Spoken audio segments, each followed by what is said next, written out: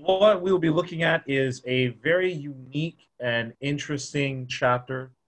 It is one that is filled uh, with images and different beasts and different Mhm. types of uh, visions and the interpretation of them.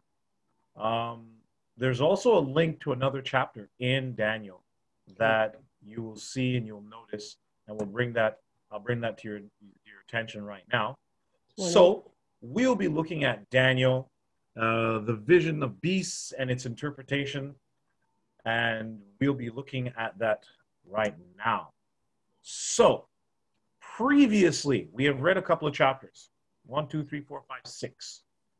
Just before chapter seven, we're encountered with Daniel, who had in chapter five been thrown into a lion's den, right? Um, did the lions eat him? Nope. Not once. They ate somebody else, right? So here we have beasts dealing with Daniel and the likes. Furthermore, the next chapter, in chapter six, we see this writing on the wall that happens to uh, King Belshazzar, uh, Belsh- Belshazzar, who is, um, uh, sorry, chapter five is a writing on the wall. Chapter six is the lion's den, and we're seeing something very interesting here about how Daniel seems to be a very in tune prophet. He seems to be able to interpret dreams. He is seeing uh, images and being able to see, de- decipher them. So that's what happened. Now, in Daniel chapter 7, we're reading about Daniel who gets a dream, right? And I would like someone to read for us verses 1 and 2 of Daniel chapter 7. Who could read for us Daniel chapter 2? Ja- Daniel chapter 7, verses 1 and 2. I have it. Go right ahead Okay. and read for us. Earlier during the first year of King Belshazzar's reign in Babylon, Daniel had a dream and saw a vision as he laid in his bed. He wrote down the dream, and this is what he saw. In my vision that night, I, Daniel, saw a great storm, turning the surface of a great sea, with strong winds blowing from every direction. Right. Thank you very much. So verses one and two are putting us into perspective of what's going on here. Daniel is not walking around, he's not in the field, he's not working at his desk. He is actually um, in his bed. He is lying down. Uh, he could have been sleeping, he could have been remote, he could have been just waking up in the morning or going to bed at night. However, this is not the case because he is given a dream. He sees the dream and he writes it down immediately. Now, let me ask you guys a question. Have you guys ever dreamt a dream and you couldn't remember it the next day? Or you had a dream and you wrote it down? You ever written down your dreams before? No. No? I never remember them. You never remember them? Okay. Um, Bits and pieces. bits and pieces. Okay. Sometimes it's good um, to write down your dreams. Other times it's not so good, especially if they're uh, nightmares. You don't want to write those down. um, but it's it's good to know that you know when you write them down, it helps you to keep track of those things, uh, journal or, or the likes. But back in those days, they didn't have um, they didn't have smartphones that you can go and tell your story on TikTok or Instagram or Snapchat. You know, when they wanted to record something, they had to write it down. Um, this is around a time where paper was not easily accessed. So when you wrote something down, it was a serious thing that you wanted to record. So Daniel is about to get a vision and, and describe it to us in a very weird and interesting way about things that are about to take place. Now, who can read for us verses three? Read for us verse three, just verse three.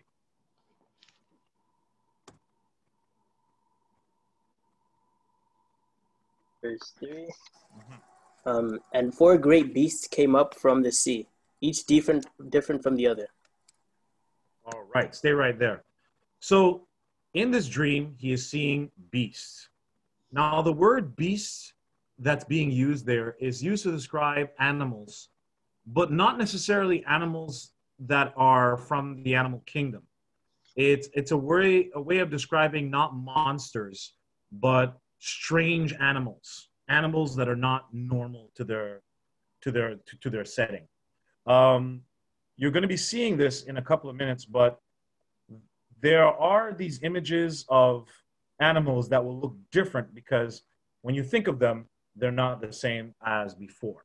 So, if you can read for us verses 4 until verse um, verse 4, 5, 6, and 7. Those verses, please. Nick? Hmm.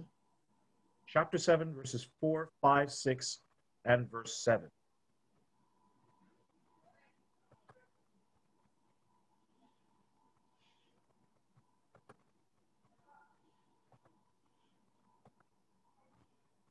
I can read. Go ahead. Right, starting from verse 4. The first was like a lion and had eagle's wings. I watched till its wings were plucked off, and it was lifted up from the earth and made to stand on two feet like a man, and a man's heart was given to it. And suddenly another beast, a second, like a bear. It was raised up on one side and had three ribs in its mouth between its teeth. And they said thus to it, Arise, devour much flesh. After this I looked, and there was another, like a leopard, which had on its back four wings of a bird. The beast also had four heads, and dominion was given to it. After this I saw in the night visions, and behold, a fourth beast, dreadful and terrible, exceedingly strong. It had huge iron teeth. It was devouring, breaking in pieces, and trampling the residue with its feet. It was different from all the beasts that were before it, and it had ten horns. Right. Good. So we are, and uh, let me try this again. Uh, I can't see you guys. Um, so what we're seeing here is these images that are popping up that will give us an idea of what Daniel is seeing. He is seeing something strange. He's never seen them before. He is about to he's about to see something that um, many of us have never seen. Um, just waiting for my computer to not act up. There you go. So in verse 4, it says the first was like a lion. Now, how many of you ever seen a lion? You've gone to Granby Zoo, you've seen a lion before? Right? Mm-hmm. You know, it looks something like this, right? It looks like a lion that's right there. However, this lion was different and it had wings of an eagle. I watched, Daniel says, until its wings were torn off and it was lifted from the ground so that it stood on two feet like a human being, and the mind of a human was given to it. Now, one of the scariest things you'll ever see is a lion run up to your car and jump on its two legs and lean on your car. You realize that a lion is actually taller than your car and could easily just crush you with its weight. Now, Daniel is seeing this and seeing this lion that has wings, its wings get torn off, and now it's standing up like a human being and has a heart like a man. Something that's very telling. Now, the next image that we see is that of a bear. Daniel describes a bear. Now, we live in Canada, mm, and there are bears that live in our neighborhood. Not so much Montreal, but out west, up north, you can run into a bear if you're not careful. Um, not as deadly and as scary, but here we have an image of a bear that seems to be raised on one side. Now, these are non-copyrighted images for those who are watching, so no, uh, no photograph photographers' rights have been violated, Jason. Um, so we don't have to worry about paying anybody. But here is this animal, this beast, this bear that seems to be raised up on one side, like if it's got a stronger shoulder or it's got a stronger side. And you have to be careful of that whenever you see a bear walking towards you or looking at you intently. This bear had in its mouth three ribs, and it was told to get up and eat and fill your and get up and eat your fill of flesh. Now that's a scary thing. If you've ever seen a documentary of a bear eating a, a trout or hunting a deer or chasing down any other animal, it gets its prey, right? And it eats a lot in order for it to survive. After that, the Bible tells us that here we see a leopard, but it's something that looks like a leopard. It's not exactly a leopard because it seems to have four wings. It has four wings on it. Now, here's the thing with, with, with the Bible and when it comes to wings. In the ancient world, wings were seen as not the ability to fly, but the ability to move quickly. It was a way of denoting that this is some this is an animal or beast or person that can move very, very quickly. If it had two wings, it can move fast. If it was four wings, it's even faster than that. If it had six wings, it was lightning speed. So those are some of the images that you'll see popping up. But this leopard had on his back four wings like those of birds, and the, this beast had four heads as well. So I couldn't find a four-headed leopard because it doesn't Oh. exist. And I've got one. so you have these images that are come up, and I will show you something what it looks like, what an artist drew of them later on. Now, after that, verse 7, in the vision at night, and before me was the fourth beast, a fourth beast, terrifying and frightening and very powerful. Now, Mhm. here's the thing in Daniel chapter 7, we're never told exactly what, who, what this beast is. It doesn't look like anything that Daniel has ever seen before. Um, I remember in one theology class, they were telling us that, that it's possible that it could have been an elephant because there's no word for elephant in biblical Hebrew. Um, they would not have known about dinosaurs because they they didn't discover any of those bones yet, but it was a beast that was unknown to them. It was very unknown to them. It was scary. It had iron teeth. It had horns. It was awful. It's just like whenever you see a lizard or a spider or a tarantula, you don't want to hang around. You just see this thing and you start moving in a different direction. So, this mystery beast is very powerful. It has large iron teeth. It crushed and devoured its victims and trampled underfoot whoever was left. It was different from all the former beasts, and it had 10 horns. Okay? Now, there seems to be something similar with these images that are here because if you look at this image here, you have this lion with wings, a bear with ribs in its mouth, one hump, a leopard with four heads and four wings, and then this beast at the back that's scary, that's we don't even know what it is. It- it- it's just crushing everything, and it's got horns, it's got iron teeth, it's crazy. Now, is that something you want to see in your dreams? Now, I don't even know why Daniel described it as a dream because to me, that's a nightmare. That is something that's scary, you know? Like, if you show me a picture of a dog if I see that in my dreams, that's a nightmare. I don't want no dogs in my dreams. Um, if you see animals that are popping up out of nowhere, that are just showing up on the scene, it is something serious. Now, the thing is, Daniel is getting this dream, but it seems to be paralleling something else that was son, that was done before in another chapter of Daniel. How many of you guys remember Daniel chapter 2, I believe it is? Daniel chapter 3, sorry. Two. Let me correct that Two. so that I don't look like I The, don't the, know the image? doing.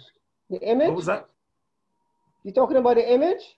Yes, the image. When like the statue. Two. No, no, two. It's 3. Daniel chapter 2, yes, 2. 2, sorry. So, um, in Daniel chapter 2, we are, um, let me share the screen again. Share that screen again. And share. A lot of buttons just to share. So in Daniel chapter 2, Please share. Thank you. We had another image that was that that popped up on the scene. But do you guys remember who it, who exactly got the dream of the image? That was Nebuchadnezzar. Nebuchadnezzar. That's right, Nebuchadnezzar. Nebuchadnezzar got a dream, but did he get a dream of animals? What kind of dream did he get? Uh, the dream of the, the statue. Statue. So a dream was given to, to, to Nebuchadnezzar. He dreamed of a statue, an image, right? And remember what the image was? It was an image of head of gold, chest, silver, a chest and arms of silver, belly and thigh of bronze, and we had iron legs, and we had iron and clay feet and toes, right? This seems, according to us, according to the scriptures, it seems to be almost the same thing as these animals, what they're representing. So I want you to remember this image here. Remember these two slides. Remember these two things that the image from Daniel chapter 2 and Daniel chapter 7 seem to be paralleling each other. Okay? Anybody want to take a last look? You're good? I hope I'm not giving anybody nightmares for tonight. Okay? Drink some warm milk, almond milk, preferably. So, to bring down the interpretation of this, we're going to break it down before we deal with another image at the end, which is this horn that comes out of nowhere. But I want to first establish one thing.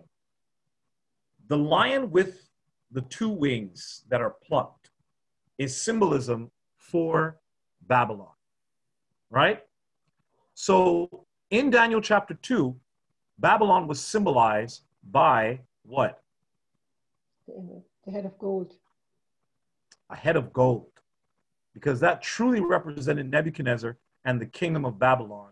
Because Babylon was a golden empire. It was truly like a lion as well, because it was able to um, overpower other nations. It was quick to come to power, but it was very ferocious.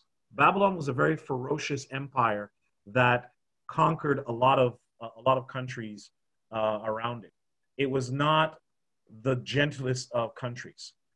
But remember what happened to Nebuchadnezzar. Nebuchadnezzar, something happened to him. I don't remember you guys. I wasn't there with you, but in Daniel chapter Daniel chapter 4, what happened to Nebuchadnezzar? Did something was- happen to him? That was, that was the chapter when, when I don't know if I should say he went crazy, but when he, yeah, you he went crazy, and then you know he was like in the wilderness in the fields, kind of like Mhm. living like an animal almost for seven years. Mhm. Yeah, yeah, yeah. So we see that this is truly a, a, a good representation of Nebuchadnezzar. Nebuchadnezzar, after he went crazy, he finally came to his senses. And this is a good way of uh, that Daniel is seeing how the heart, how the lion stood up like a man, was given a heart. And that you can read that in Daniel chapter 7 and reading from verse uh, and verse 4. The first was like a lion, and it had wing had the wings of an eagle. I watched until its wings were torn off, and it was lifted from the ground, so that it stood on two feet like a human being or a man. And the mind of a human being was given to it, the mind or heart. So this lets us know that here we see that how can I put it? Nebuchadnezzar was kind of had his senses knocked in. In, other words, in, a, in a very friendly way of saying it. Um, it's um, how can I put it? It, it? It's it's it's one way of describing how Nebuchadnezzar had this moment where he was no longer a beast; he became a man, and Babylon was no longer that beastly empire. It finally became an empire that finally had a heart. And, and also the ba- Babylonian Empire was the one that established synagogues for Jews. It was the one that allowed the, um, the how do you put this? The, the, the people of God to be able to, to grow and also become more, you know, to live so that they can live. Now, the head of lion, the, the head of gold, the lion with two wings, Babylon, right? Babylon. I won't give you the exact dates because sometimes the dates can be a little bit, uh, how can I put it? Mm-hmm. Daunting. It can it can bog you down, you know. It can bog you down. Um, but uh, let's see here. Let's see here. Let me see. Just pull that up. Next image. Next image we see is that of a leopard. The leopard parallels that of Daniel chapter 2 because in Daniel chapter 2, oh, sorry, the bear, sorry, not a leopard, the bear was one that was the chest of the chest and arms of silver. Mm-hmm. Okay, and based on human anatomy, you have two arms, right? Mm. You know, like Israel, you have two big, strong arms. You don't have weak arms like Jason. So, some people are stronger on their right than their left, and others are stronger on their left or on their right. But you have a stronger arm. Oh. The Medo Persian Empire was not equal in terms of the Medes were the same strength as the Persians. It was actually the Persian Empire that was much stronger than the media the, than the, Med, the than the Median uh, Median Empire because the Persian Empire needed to ally itself with the Medes in order to do their do their conquests and move on. Now, in, Dan, in Daniel 7, you see the bear that seems to have this flesh in its mouth. And that is truly one of the examples of how the Medo Persian Empire was conquering and it was able to take the flesh. In other words, it was able to rip an empire out from its core. Okay? Because the only way that you get ribs is if you open up the meat, right?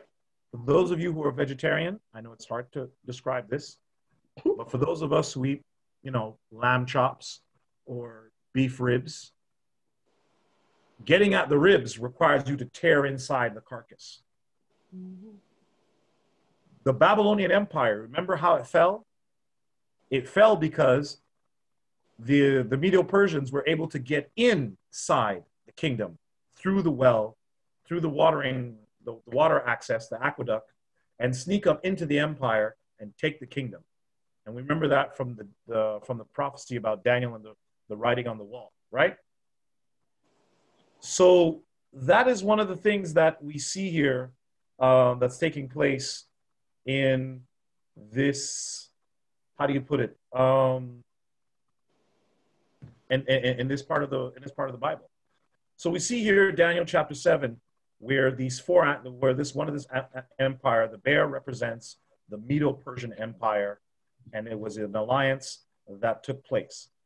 Some people say that the three ribs symbolize the three main conquests of the Medo-Persian Empire, such as Lydia, Babylon, and Egypt. Mhm. Um, for those of you who know about Egypt, Egypt is a very strong empire in the ancient world. Uh, Lydia was a strong empire as well, and Babylon as well. But it was truly one of the representations of a bear, the Medo Persian Empire. It later became just known as the Persian Empire, which is where modern Iran is right now, because the Persians took over everything after a while. Next image.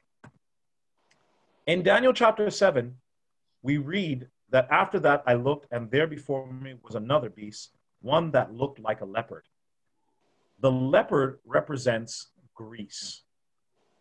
Well, the Greek Empire, to be, uh, to be exact, that was established by a f- great and famous Greek king. Do you guys know the name of the, the most famous Greek king? Oh, was was that Alexander? Mhm. Great. Right. Alexander the Great. Alexander the Great. Now, remember the, what, what was described of the leopard? The leopard had how many heads? Four. Four. Four. And four how many wings? Four. Four. Four. right? The four wings, as I said before, represent swiftness and quick and the speed, and it truly represented Alexander the Great's conquest of the then known world. He conquered the world by the time in his mid 30s he had conquered most of the most of Asia Minor. He only got stopped in India, right? Now, for someone so young in his 30s to have conquered the world, some people have trouble buying a house in their 30s. Some people have trouble becoming CEO of a company in their 30s. Daniel was able to, uh, not, not Daniel, but Alexander the Great was able to rise to the kingdom, to the top, and conquer Lydia, Egypt, Babylon, took over from the Medo Persians, headed over to India. He was conquering quicker than you can even think. The Greeks were quick. They marched, they conquered, they moved on. They marched, they conquered, they moved on. It was truly uh, a good representation. However, Alexander the Great didn't live very long as well. We all remember he died young. He was a drunk. Some people say he died of a drunken stupor. Others believe that it was, you know, some heart attack or some poison. Um, but either way, Alexander the Great The boy could not get past mortality and he died. His kingdom was divided amongst his four generals. These were the closest four generals that he had. And these four generals moved on with the empire and they ruled for quite some time. Now, you know what they say all good things must come to an end. There is another image that shows up of another empire that in history books, when you read history of the Christian church or history of the world, the Roman Empire was truly a, a force to be reckoned with. It was something that you that came out of a horror story. Imagine you're facing an army that no matter what you threw at them, rocks, spears, bows and arrows, all it did was just ricochet off of their shields. Imagine an army where they fought like Greeks, they were strong like Babylon, and they were terrible. The Roman Empire had this policy of scorch and burn. I don't know if you guys ever heard that expression. Um, you know, scorch and burn. Uh, that's when you just take everything, destroy everything, and burn everything around you. Um, I remember when I was younger, you know, some older women at church were telling me, be careful, some girls, they might scorch and burn you. You know, they'll take you for everything and then break your little hear heart and burn you to the ground.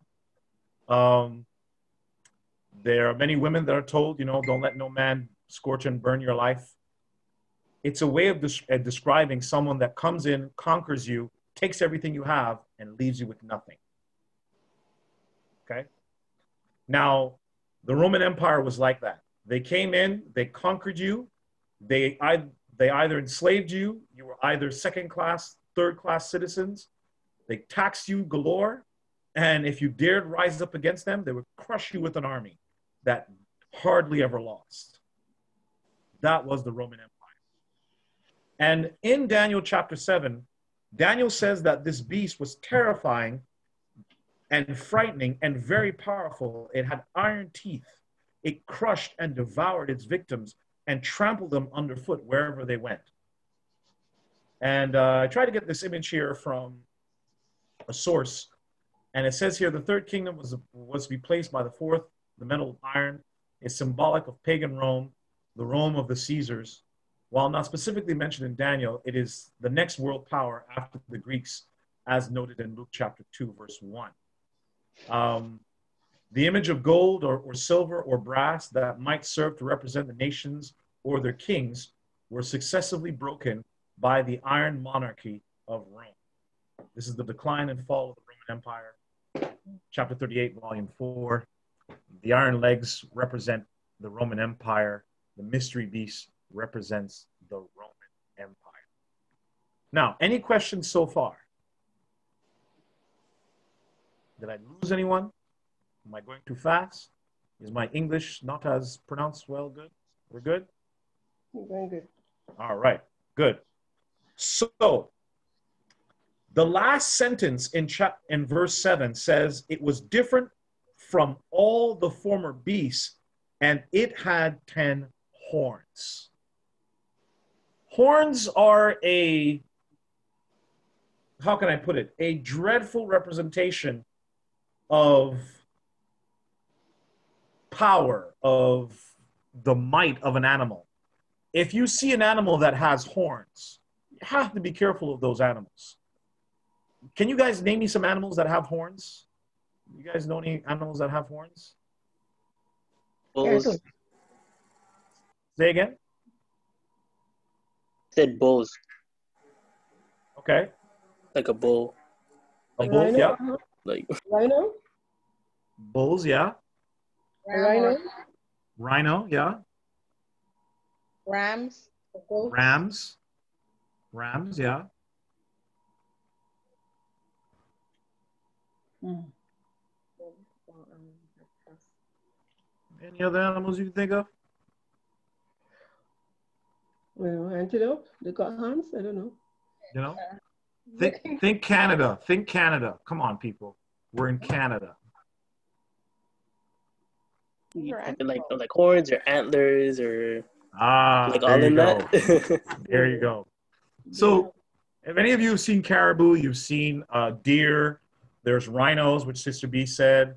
There are rams, which many of you have said.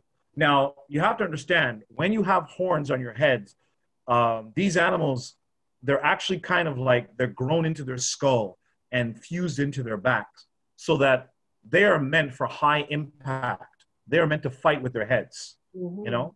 And i remember one teacher told me one time years ago in, in primary Mitchum you got to learn to fight with your head like a deer and start fighting with your hands you know? Because sometimes we don't want to use our heads we want to use our fists but these animals that we see that have horns in their head these horns are symbols of kings of royalty of power um, the roman empire did not last how can I put it? It did last very long, but it had many rulers. There were many Caesars that erupted. There were many kings that they had to depose, many people that they had to get rid of to move into their to move into their glory. Um, in chapter seven, verses seven and eight, Daniel sees this image of an of, of a beast that has these iron teeth but it says in verse 8, while I was thinking about the horns, there before me was another horn, a little one, which came up among them. Now imagine you're seeing this image of this animal that has these horns on its head, and you're thinking, what do these horns represent? Unbelievable. And all of a sudden, you just see this little horn start to grow. Just start to grow but it looks very different. Okay. Now, please forgive me. These images are non-copyrighted. I take them so I don't get charged and people don't, you know, call police on me. But it shows us how a horn can grow out of the skull and be impressive and also force out other other horns that are on the head. With deer, anytime they start shedding, they they scrape their their antlers onto the side of birch or wood I remember that from Pathfinders, but I saw it in person one time while walking through a park here in Quebec. Um, you'll see caribou doing that too, mooses as well. Moose. Uh, a moose uh, will, will do that. You'll see uh, rhinos, one of an endangered species. People, they're hunted for their horns, but though those things grow out of their heads and they grow in an impressive way. But this horn in Daniel chapter 7 was different because unlike the other horns, this one was growing and it was coming out. It uprooted three other horns, and this horn had eyes like the eyes of a human being, and it started to speak. Now, this is why I always have trouble with this Daniel chapter 7, because he says it's a dream, but this seems more like a nightmare. This seems like something out of a horror movie, because when you see a horn, you don't expect it to start speaking It's like child's play. Chucky, a doll starts talking to you. You don't talk back to it, you run. It's like the wall. If you see the back of me and you see handwriting on the wall, I'm not staying here, I'm leaving. Daniel sees this horn come up out of nowhere, and it just doesn't look like a man. It looks, it has eyes like a human being, and it starts saying boastful things. Mm-hmm. Boastful things. Now, the boastful words that it was that it was pronouncing are actually blasphemous words. Now, how many of you know what blasphemy is? What is blasphemy? Who knows what blasphemy is? Blasphemy, that's kind of like when you start going around claiming something to be true when it isn't. Mm-hmm. That's a definition, yeah. Um, what, what's another good way of doing that? Is it like something that's immoral? Like Immoral. Very good, Maya. Very good. Disrespectful. Disrespectful. Um, when you guys think of blasphemy, Can the word blasphemy is denoting something or, deri- or, or deriving something that is divine and attributing to yourself. Now, when you look at blasphemy, uh, blasphemies, oh, blasphemy. Um, looking for this right now. Remember when Jesus was accused of being blasphemous? When he said he was the son of God. When he said he was a, the Son of God. That's right. Blasphemy was something that was accused. It's the act or offense of speaking sacrilegiously about God or sacred things. Um, it's also a way of using profanity. When you swear, in the Old English, that's considered blasphemy. Um, there were times in the Bible where Jesus was accused of blasphemy, and you can find that in Mark chapter 7, verse 22 and 23. And could someone read that for us, please? Mark chapter 7, verse 22 and 23.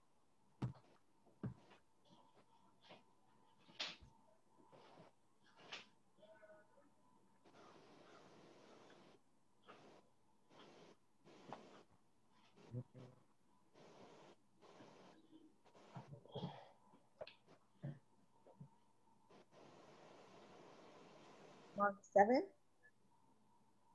Uh, yeah, go ahead. 23. Yes. All these evil things come from within and defile the man.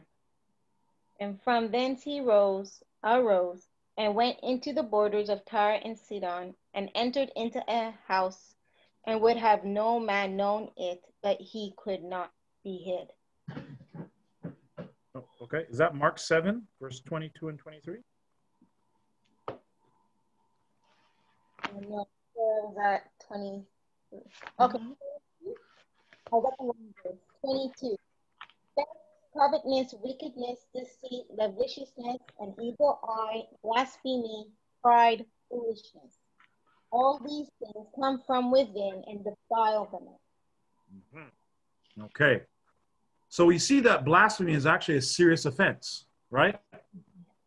It is something that if you commit it, it's labeled with murder, theft, it's labeled with arrogance and slander. It's something serious, right? Now, remember at Jesus' death, uh, sorry, at Jesus' trial, when Jesus was being asked, Are you the Son of God? I want someone to read from us Matthew chapter 26, verse 57. Matthew chapter 26. It's the last chapter, one of the last chapters, sorry. Matthew chapter 26.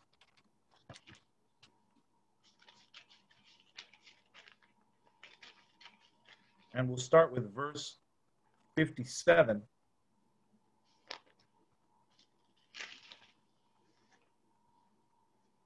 Fifty-seven to what?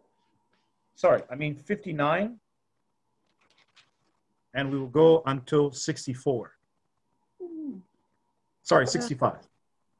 I have it. Go ahead. Now the chief priests and elders and all the council sought false witness against Jesus to put him to death. but found none yet, but found none. Yea, thou, though many false witnesses came, yet found they none. At, at the last came two false witnesses, and said, This fellow said, I am able to destroy the temple of God and to build it in three days. And the high priest arose and said unto him, Answerest thou nothing? What is it which these witness against thee? But Jesus held his peace, and the high priest answered and said unto him, I adjure thee by the living God, that thou tell us whether thou be the Christ, the Son of God. Um, until when? Until 65. Two more verses. Um, Jesus saith unto him, Thou hast said, Nevertheless, I say unto you, hereafter shall ye see the Son of Man sitting on the right hand of power and coming into the clouds of heaven. Then the high priest rent his clothes, clothes, saying, He hath spoken blasphemy. What further need have we of witnesses? Behold, now ye have heard his blasphemy. Okay. So this is I wanted you to read these few verses in order for us to get a full picture of what blasphemy is in the biblical sense. Blasphemy in the biblical sense is not so much just using profanity, it is really taking what is attributed to God and claiming it for oneself. Blasphemy was actually one of the sins that if you committed blasphemy, they could stone you in the in ancient Jerusalem. If you described yourself as God or claimed to be God, if you acted as if you were God, it was blasphemous, it was pompous, it was arrogant of yourselves to claim those things. Right? Now, when Jesus claimed to be the Son of Man, or when he walks in and says, you know what, I will coming in clouds, was he being blasphemous or was he being truthful? Truthful. Truthful, right? So Jesus is being truthful.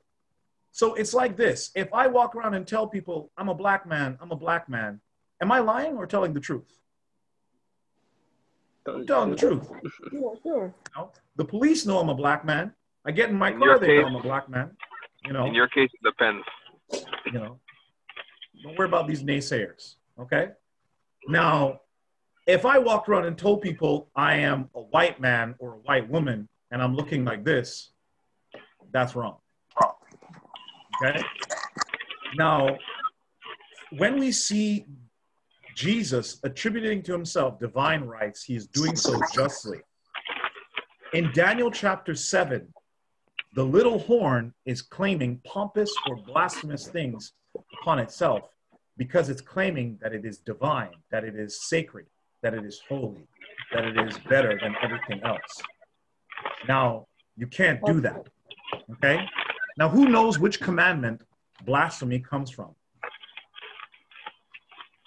Which of the Ten Commandments is the one that really, you know, blasphemy comes from?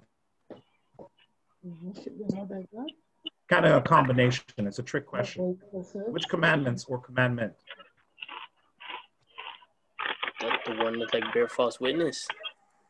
Bear false witness, yes. Okay.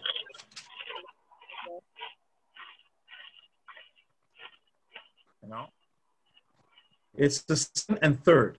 Thou shalt not make for thyself any golden images, and also you shall not take the name of the Lord thy God in vain. Okay? So taking an image and ascribing it as God, that was blasphemous. Misusing the name of God or claiming to be God, that was blasphemy. That was a sin that was punishable by death. No excuses, no pardon whatsoever. And also, God always looked down upon blasphemous, uh, blasphemous proclamations from any entity, whether it be man or beast, that is popping up. Now, in Daniel chapter 7, we're seeing this little horn that Somebody rises cooking in the background? What's that noise? Like somebody's cooking. Um, hold on a second. There we go. Oh, okay. It wasn't me, but was somebody else. Um, so Daniel chapter seven, we see this image of a beast, of, of a horn that has eyes like a human being and has a mouth that speaks pompous words or blasphemous words or words against the Most High. Now, that's a strange thing that can happen. All right. But the, after you see the rising of this horn, there's something else that appears, right? And before we get to the interpretation, I want someone to read for me verses 9 to verse 10 of Daniel chapter 7.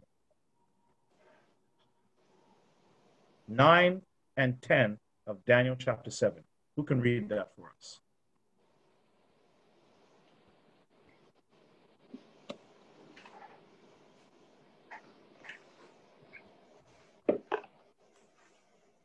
Daniel chapter 7, verse 9, 9 and 10. Yep.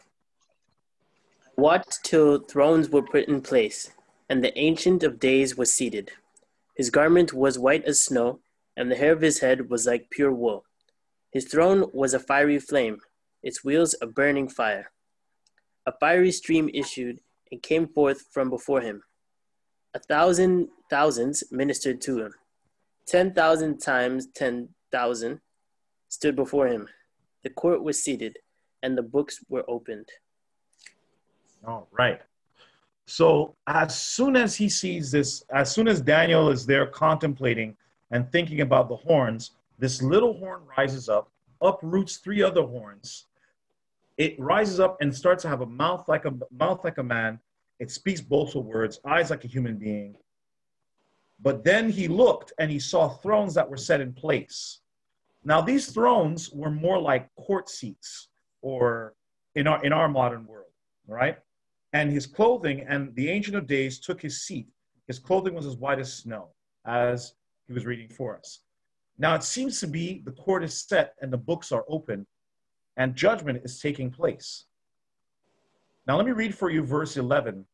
Then I continued to watch because of the boastful words the horn was speaking to the, the horns was were speaking the horns were, were speaking I kept looking until the beast was slain and his body destroyed and thrown into the blazing fire. The other beasts had been stripped of their authority, but they were allowed to live for a period of time. In my vision at night, I looked, and there before me was one like a son of man coming in the clouds of heaven. He approached the Ancient of Days and was led into his presence. He was given authority, glory, and sovereign power all nations and peoples of every language worshiped him. His dominion is an everlasting dominion that will not pass away, and his kingdom is one that will never be destroyed. Now, it's important that we get the full image and the full picture of everything that's going on in Daniel chapter 7, because if we stay stuck on the horn, we never realize that the vision doesn't end there. It ends on the fact that the beast gets destroyed. The other animals are stripped of their authority, but the Son of Man is given authority, dominion, and power, and reigns forever and ever. Now, you're probably asking yourself, okay, Mitchum, we get it. What does all this mean? Let's look at this interpretation. In verse 15, can someone read for us verses 15 to 20?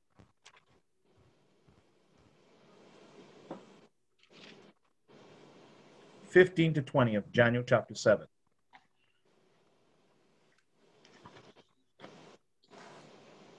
Well, you guys should have it open, man. It says, I, Daniel, was grieved in my spirit within.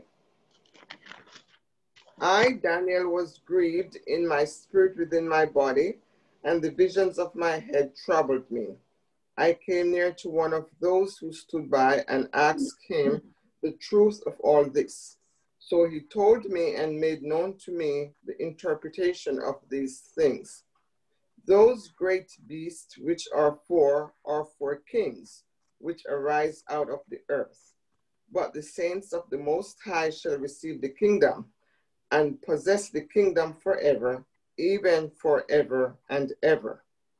Then I wished to know the truth about the fourth beast, which was different from all the others exceedingly dreadful, with its teeth of iron and its nails of bronze, which devoured, broke in pieces, and trampled the residue with its feet, and the ten horns that were on its head, and the other horn which came up, before which there before which three fell, namely that horn which had eyes, and a mouth which spoke pompous words, whose appearance was greater than his fellows.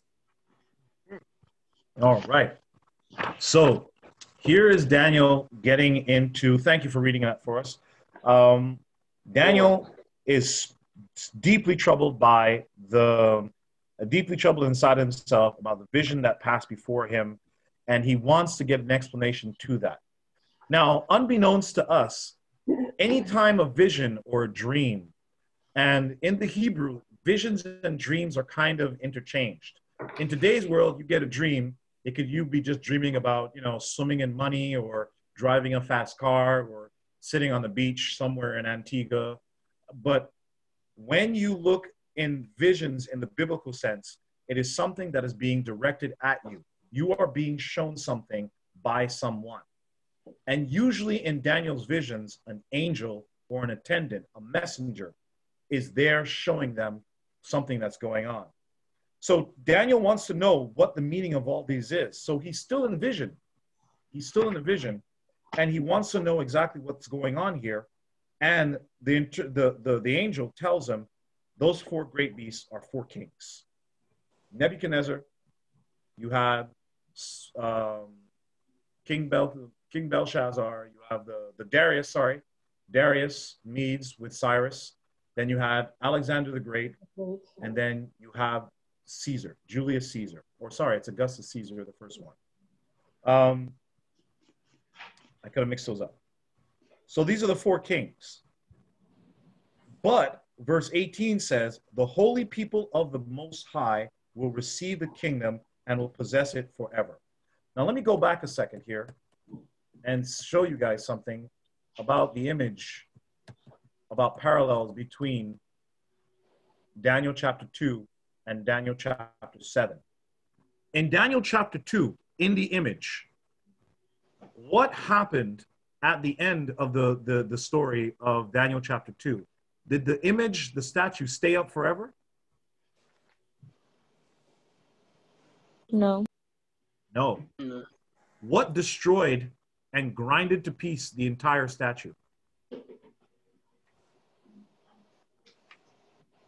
Here or something. No, it was a stone that was cut out without hands that came that, and yeah. struck that struck the, the toes or the, the feet and grinded everything to pieces. And what happened to that, that stone? It grew into a mountain, right? And it lasted for how long? For Forever. forever. Forever.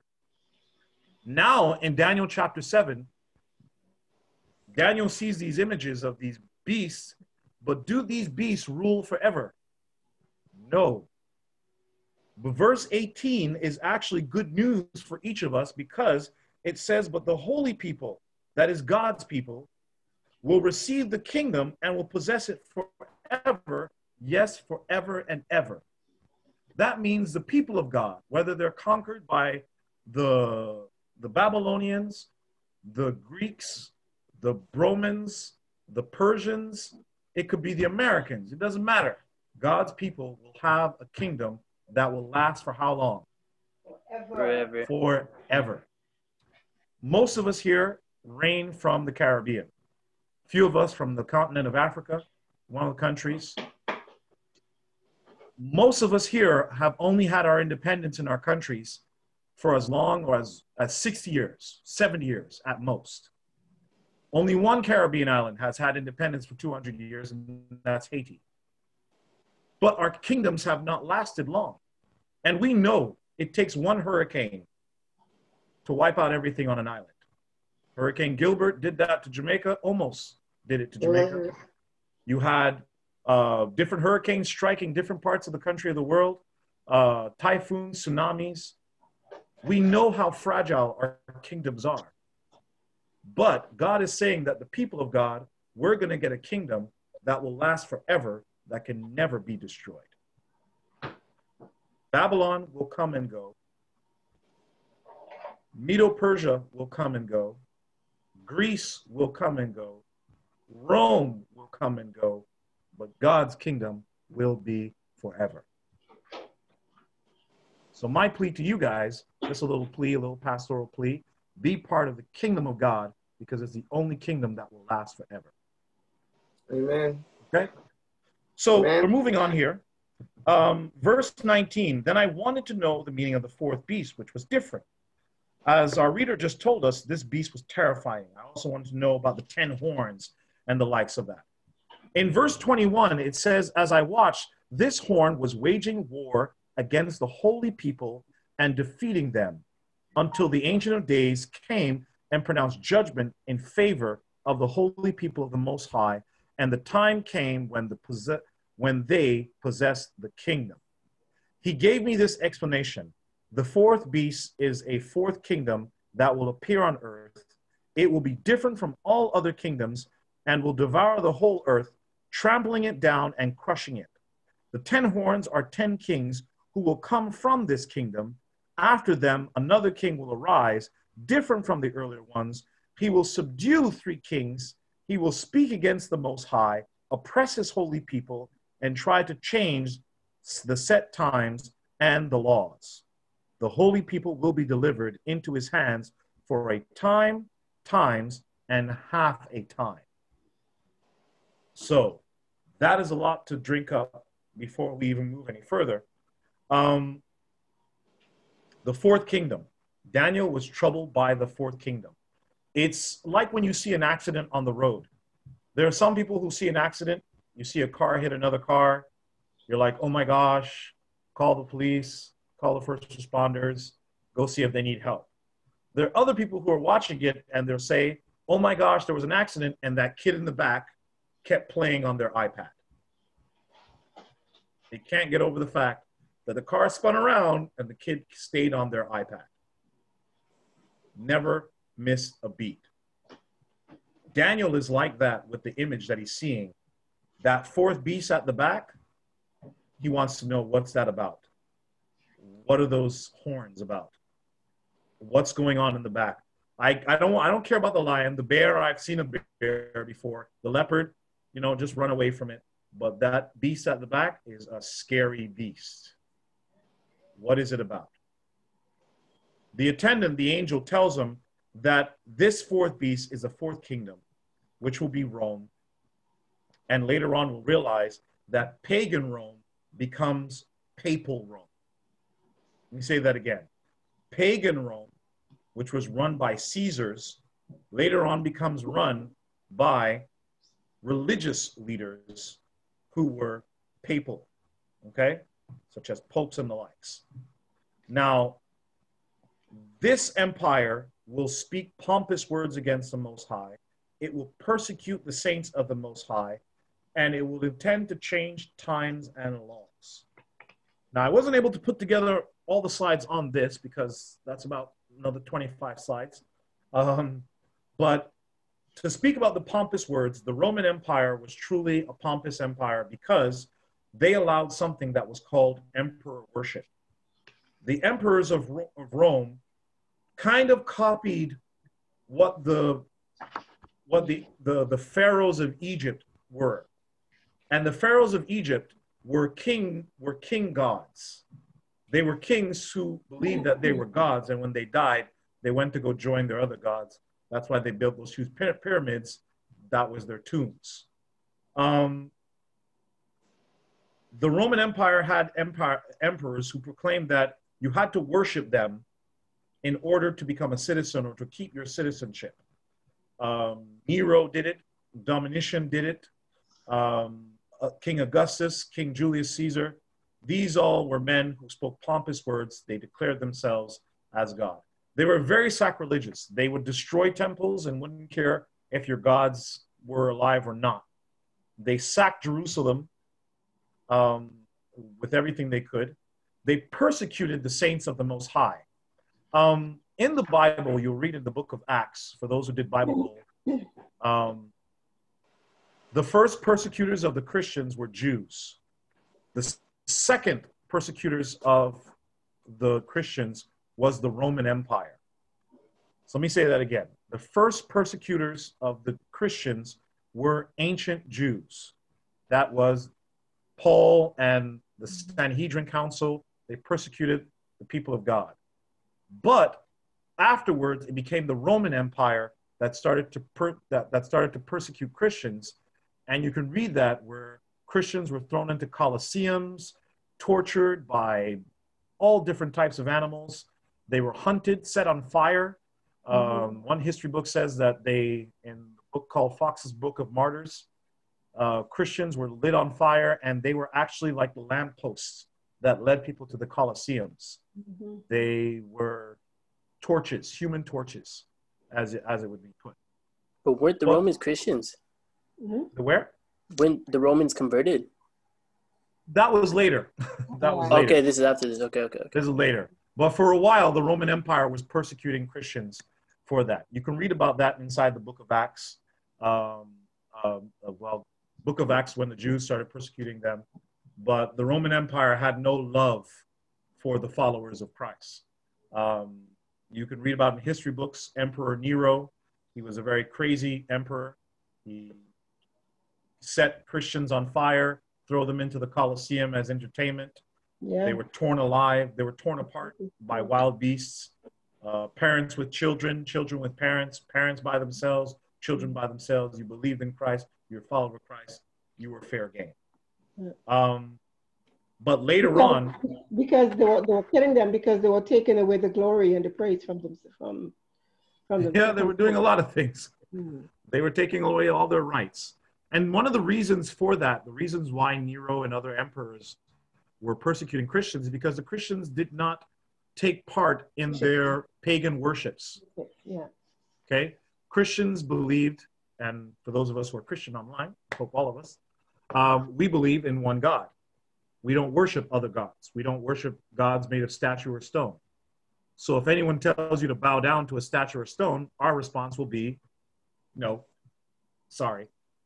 You know, um, diehard Christians, and I hope we're all diehard Christians, even on pains of death or imprisonment, will not worship any other idols or statues or any person as God.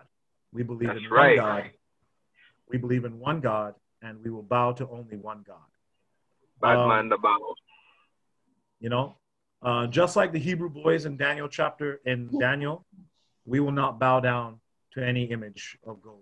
We will not bow down to anyone. We do not bow. All right, all right.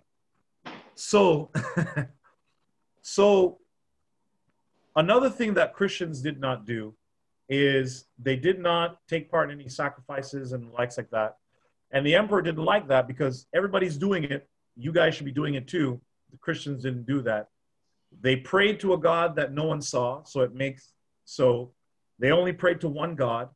It was illegal to be a monotheist.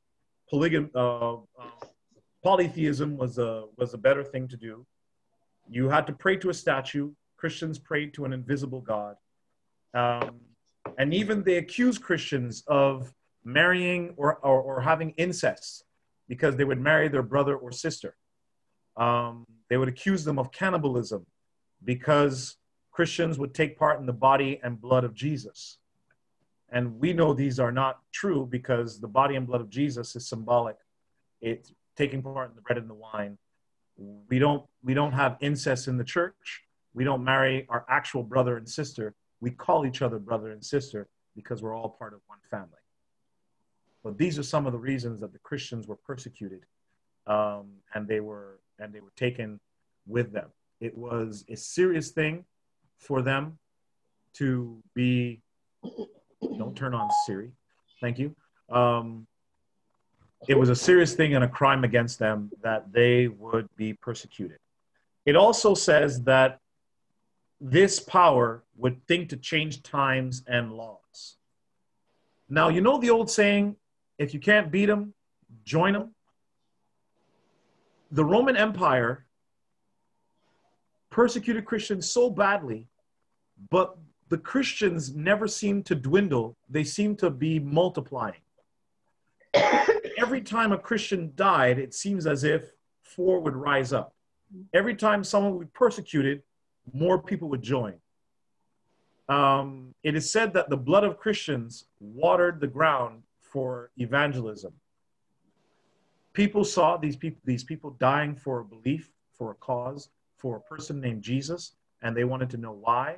And when they discovered who Jesus was, they realized it's the best reason to die for. Christians started multiplying. And there came this emperor by the name of Constantine, who married a Christian, and then, in order to appease the other senators in the empire, took his army and himself and marched through some bed of water. And he said, Look, we're all baptized now. We're all Christian. The empire is Christian.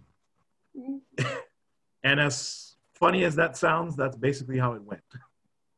Constantine made one of the biggest influences on Christianity by making an entire empire, an entire uh, kingdom become Christian. And many things changed because Christians usually worshiped on Sabbath, and now they brought in worshiping on Sunday. Um, it was a day of veneration to the sun. This is why, for thousands of years, Christians have been going to church on Sunday. That was done through Constantine at first. Later on, the Roman Catholic Church established that the official day of worship was Sunday. They wrote this inside their catechisms in the Vatican uh, Chronicles. They proclaimed it, they said it themselves. The Roman Empire changed times, they changed how celebrations took place, they changed laws to suit themselves into Christianity. And that is something that the Roman Empire did through Constantine and the likes. But it moves on because later on, this is where we come to um, the consequences for the saints. The angel gives the time frame for the activities of the little horn. The little horn that you see rise up. Let me go to it, my rhino. So I was trying to find one horn, and everything kept asking me. It was either an image that was ugly or an image that cost me money, and I'm not balling like like Jason. So this little horn was, you know, this little horn that rises up. It wasn't just speaking blasphemy; it was also doing activities. You know, it was its activities were done to persecute the people of God, to be blasphemous, and to change times and laws. But the Bible tells us that it wasn't going on for all the time. The Bible says to us in verse 25, time, times, and half a time, right? Now, this would be in the prophetic interpretation a year, two years, and half a year. Three and a half. Now, I don't want to start an Instagram meme or some Instagram uh, or some video, viral video, but one plus two and a half is equal to what? Is equal to one? Two, sorry, one plus two plus a half is equal to what? Oh, I, think One. it's- I thought I thought you said it's equal to one.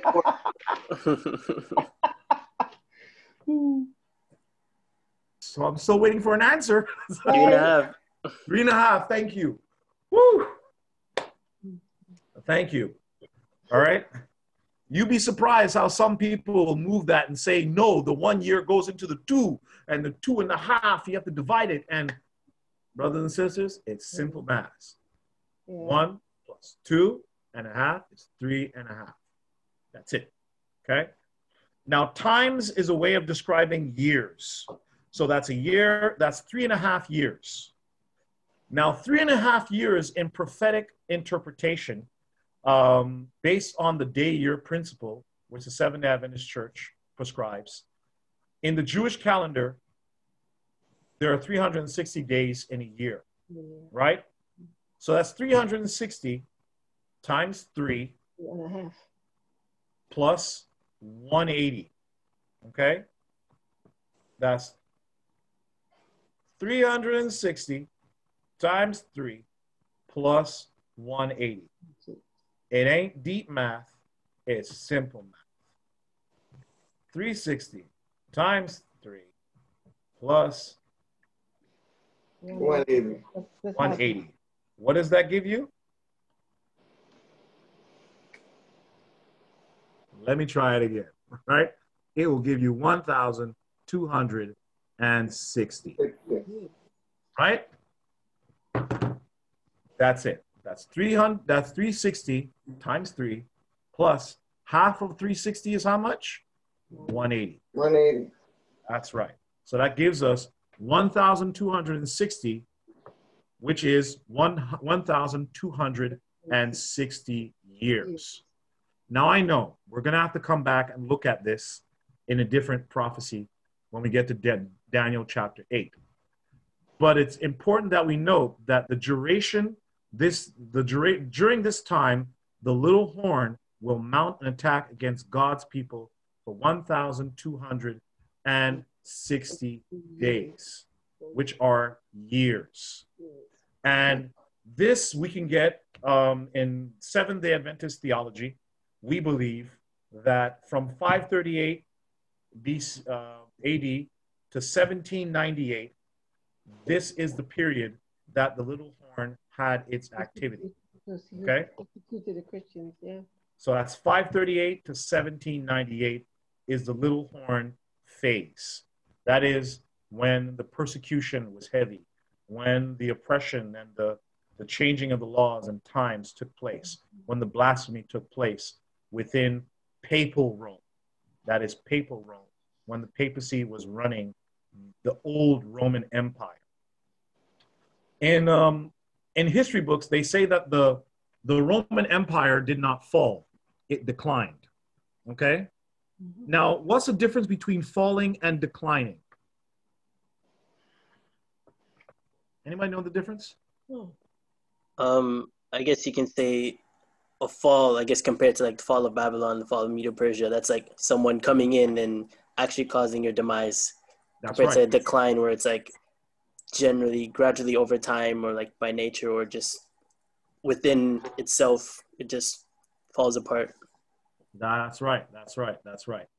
So the Roman Empire didn't get conquered by anybody else. There was no other empire that could come in. And just to make sure that you guys understand the vastness of the Roman Empire, the Roman Empire was, um, how do you put it? There's an expression that says the sun never set on the Roman Empire. Just like the British Empire, the sun never sets. Did you guys know that? That's in there. if you look at the British Empire, it's old British. Empire. Britain actually controls Canada, well, used to control Canada to Australia. So no matter where the sun rose, Britain always had a kingdom that was had its sun shining on it. The Roman Empire was somewhat like that as well because they stretch from as far as Europe to as far as India Mhm. and it almost seems like based on how the sun rises and sets there's always the sun that's ro- that's that's over the roman empire Mhm. now no one was able to conquer the roman empire but it did decline right it declined because uh, moral corruption financial corruption um, decay of, uh, of society took place uh, Germanic tribes came invading from the north and took over certain portions of the Roman Empire.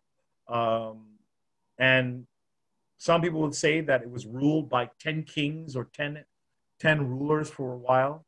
And we will look into this um, to how this, um, this kingdom somehow lost its favor. And this little horn rose up and somehow just took over everything else. Um, the papacy is, and for those of you who don't know the papacy, the papacy is basically the People wrong. the popes, the administration of the of, of the popes. Um, it's just like the presidency. It's not about one person. It's about the institution. You understand? The papacy is the institution. It's not just about one pope. It's about many popes and the institutions that were there. Um, in Christian history, you learn that there are some popes that didn't care what they did. They got the job. They basically got dressed up, walked around, bless people. There are other popes, they realized they had power and they wielded power. Okay? It's just like when you discover that you're the head chef. There's some people, when they become head chef, they continue with the old menu. Other people become head chef. They heads start to roll. You're fired, you're fired. We're going to have chicken instead of beef. We're not having any soup. End of story. Some popes were like that. They, they were martial law, and even some of them went so far as to declare that they were the representatives of God on earth. Let me say that again. There were a few popes that declared that they were the representative of God on earth. Okay? Mm-hmm. There's only one person who was the representative of God on earth, and his name is Jesus. No one else can claim that. You can say that you are trying to be and follow the will of God, but you can't say that you're you're walking in God's place. You know, our parents can tell us that they can put the fear of God in us, but they are not God. Mm-hmm. For those of us who were raised by black parents, we know what we're talking about here. Amen. Right? But there is no one that can replace God. There is no one that can usurp God. And that is what the little horn was trying to do. Papal Rome was trying to become boisterous and pompous and blasphemous by declaring its own dominion as if it was ruling anything in its state in its place. Now, it's it's it's important that we understand a few things here about papal Rome. Papal Rome was not a it didn't have everything sewn together. Let me put that put this in other words. As much as they tried to unite the kingdom, they weren't able to do so. Because there came a time in history where the papacy did get did get struck. It got hit with, and I won't go into General Berthier and the the, the imprisonment of the Mm. of the um, of the of the Pope. At one time, there were three popes running around. you know, one pope in France, another one in Rome, another one in in in in another part, and they're each saying, "I'm the pope, I'm the pope," and people like, "Who's the pope?" Mm-hmm. And then one pope was put in prison, and everybody's like, "How did the French come around and just take over like that?" Mhm. Um, you know, c'est la vie. That's that's the French. when they want to do stuff, they do stuff. But it was very. It is very important that you note that with all the kingdoms that come about, with all the empires that rise, every last one of them falls, and even the little horn that rises up, does it last forever? Oh, plucked up. No. No. It does not last forever. There comes another kingdom that will last forever, and that is the kingdom of God. Okay? Daniel chapter 7 does not end on the note of the horn, it ends on the note with the kingdom that will last forever, and it is the kingdom of the Most High. Mhm. God's holy people will get the kingdom handed over to them. This is why, whenever you do this Daniel prophecies, whenever you get into Daniel 7, people like to spend hours talking about the papacy. They talk about, oh, the Pope was so bad, the Pope was this, the Pope was that. The story is not about the Pope, the story is about how God's people will rule at the end. Amen. deliverance. Yeah. Okay? The purpose of the story is to tell us that God's people, as much as they're being persecuted, they will be vindicated. They will get a kingdom. They will no longer be pushed around. Okay? No longer you're going to have a landlord. Now you're going to be a property owner, and the deed has been paid. Mhm. Okay? This is where it is important that we understand that to be part of the kingdom of God is the greatest kingdom that we can be part of because it's the only kingdom in all of Daniel's prophecy that lasts how long? Forever. Forever. You become a citizen of Babylon, it won't last long. Become a citizen of Persia, won't last long. Greece won't last long. Roman Empire won't last long. Papal Rome won't last long. Only one kingdom lasts forever, and that is the kingdom of God. So, Daniel chapter 7, as much as he was disturbed by the matters that he was saw that he that he saw, and his face did turn pale, he kept the matter to himself because there were still other things to understand. Sometimes God sends us troubling messages, not to scare us, but to reassure us that even though there may be beasts that show up, they will not last forever. God will give his kingdom to his people. God will rule, the sovereign ruler, with power and greatness and all things that are there. Now, I like to end Daniel's study with a reading of Jude.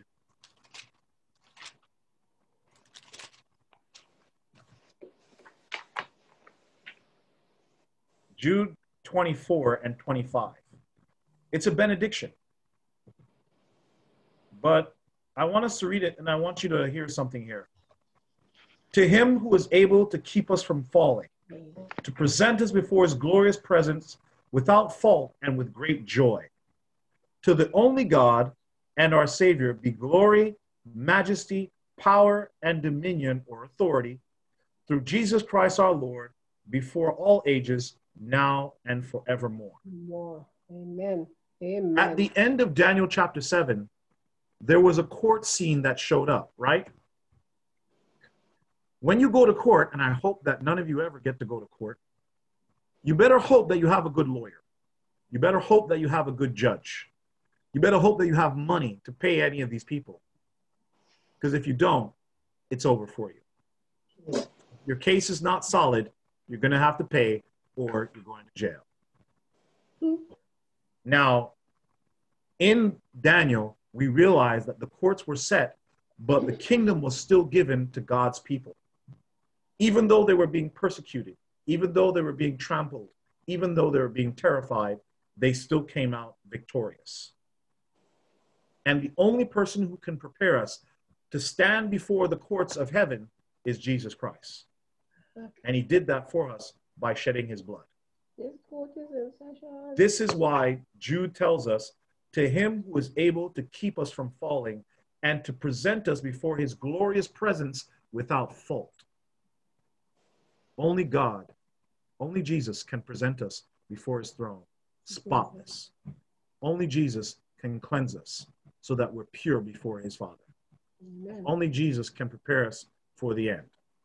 You can become a master guide, you can get all the honors, you can become a Boy Scout, you can become prime minister. None of that will get you through the courts of heaven. It's only when you claim the blood of Jesus. Amen. Amen. So, to him who is able to keep us from falling, our Lord and Savior Jesus Christ, to him be glory and honor. Now, are there any questions on Daniel chapter 7? I know we went a little bit over time, five minutes, but I can take a few questions.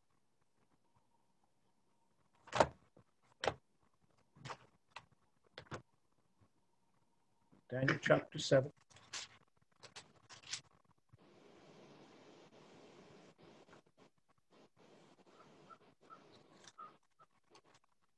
Any questions, concerns, worries, comments, observations?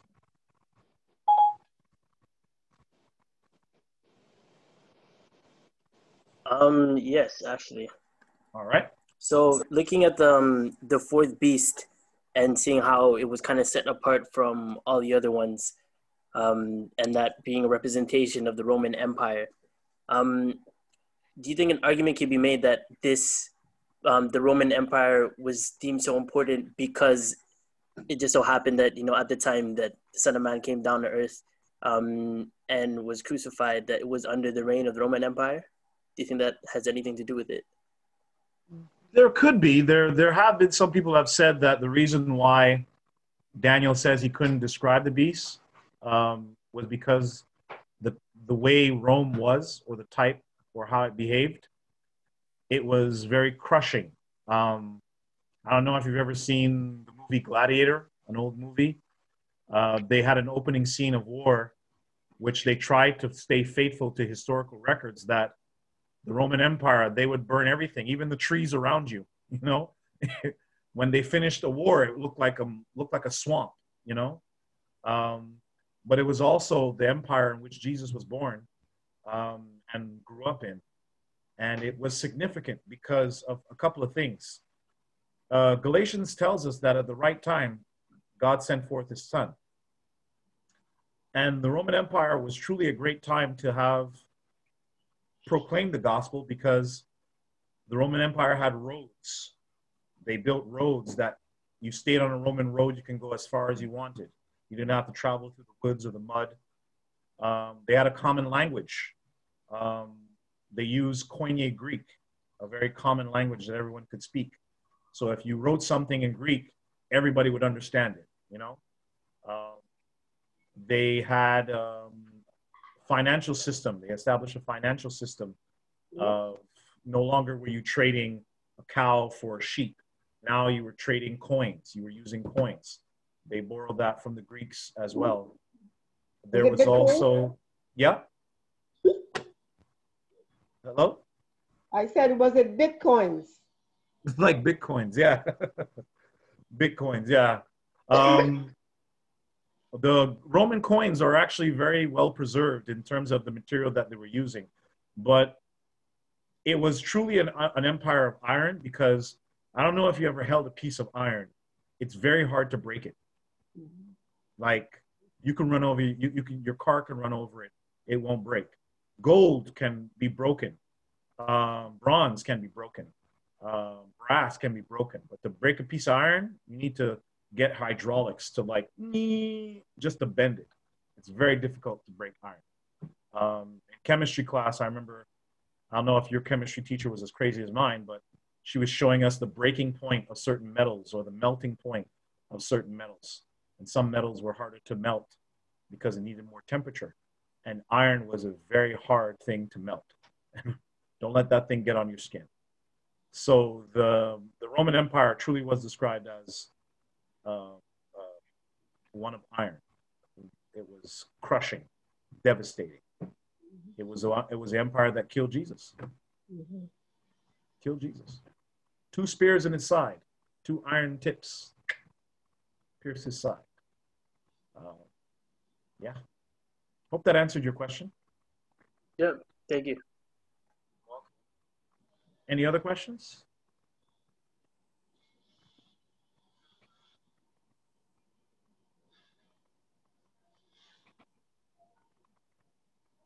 Concerns, worries? You get everything, understood everything? Was I clear to everybody? Was No, Was man, you, okay? you, you did a good job. You did a good job. Yeah, you. thank you, PowerPoint too. Yeah, you made you made everything so crystal clear, man. Good job. thank thank you very much. Uh, How about, how about our younger audience, guys? Did you understand the thing or you wanted to go over something? I understood. I understood. Hmm? I understood everything. Okay. It was all good. that's We're going to ask you questions tomorrow. there you go. Well, um, if there's no other questions, um, you might want to read up on chapter eight. Um, I don't know when we might we might do that next week, right, Sister B? Yep. Um, chapter eight, yeah, um, big chapter. So, Yeah. um, read ahead if you want. Don't be afraid to read the whole book of Daniel. Go through it. Go back. Read a few chapters before. Read it ahead. Um, it's good to know the story ahead of time. That way, you might ask questions or have concerns and see stuff that you've never seen before. Okay, But. Daniel is a good book, you know, Okay. especially Daniel chapter nine, his prayer, and you know, and the likes. Yes. Okay. So, if there's no further questions, Sister B, we're good. We can close here. You good, yeah. Mhm. All right. So, can I get a volunteer to pray for us to close?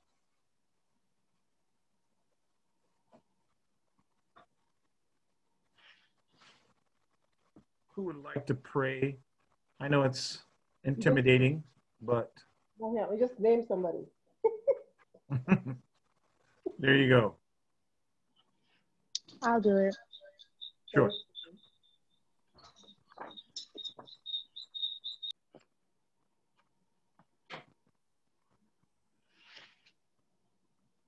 Go ahead.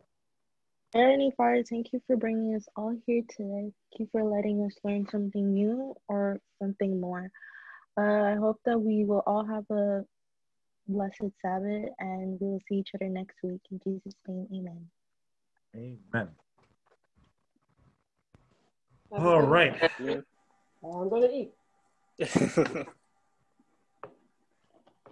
So, uh, let's see. Thanks, Mitch. It was very good. Thank Thank you. you. Thank you. You know, disappeared easy. Mm, yeah, it